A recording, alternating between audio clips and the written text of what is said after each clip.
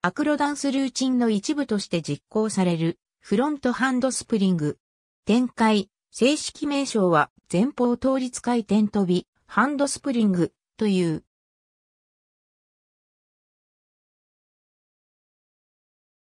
体操競技では前転飛びと言われることが多い。これに対して後方に行う技として後方倒立回転飛びがある。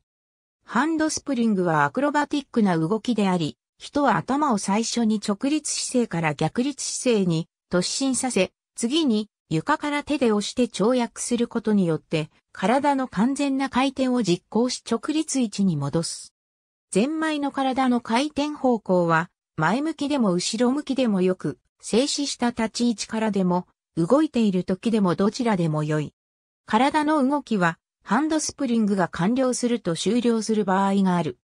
または、パフォーマーの勢いを利用して、別のハンドスプリング、または他の回転動作をすぐに実行することもできる。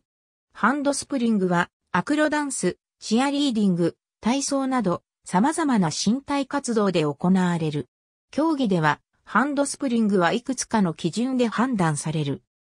助走から勢いとリズムをつけるためのホップ、手をつくための体の前倒し、倒立状態になってからの突き出による飛び、腕を万歳にして体を反らせた着地で構成されている。着地には大きく分けて片足着地と両足着地の2種類がある。体操競技の基礎となる技である。体操競技での難度は床運動で A 難度とされている。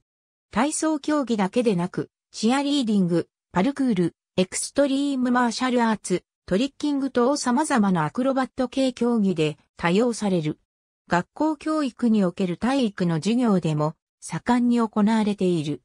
以前は体育教員採用試験の科目にあったが、難度が高いため2020年現在は削除されている。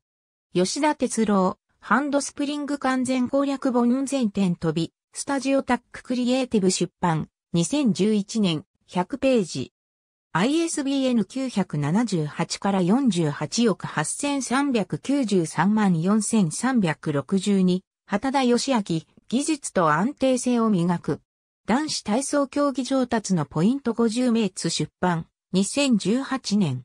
ISBN 978から47億8041万9504。ありがとうございます。